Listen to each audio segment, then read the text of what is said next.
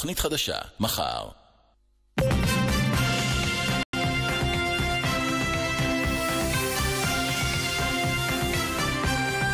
בחדשות זו תוכנית אה, שתפסה כותרות רבות. מקצוע נוסף במערכת השעות בבתי ספר ממלכתיים, תרבות יהודית ישראלית. יעל אודם כתבתנו לענייני חינוך, את מפרסמת לראשונה פרטים מתוך התוכנית, יעל.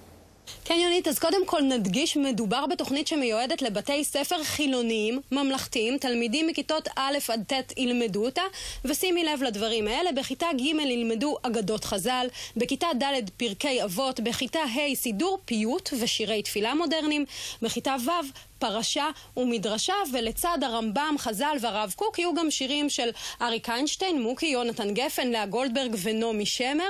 מורה שיסכים לעשות את ההכשרה למקצוע הזה יקבל תמריץ לא קטן של 6,000 שקלים. אפשר להגיד ששר החינוך נפתלי בנט סימן עוד וי במערכת השעות של התלמיד הישראלי על עוד שיעור שעיקרו יהדות. המתנגדים אומרים, זה שיעור נוסף להיסטוריה וספרות שגם הם עיקרם יהדות, ומדובר בלא פחות משטיפת מוח דתית. הוויכוח בעניין הזה נמשך. תודה רבה, יעל.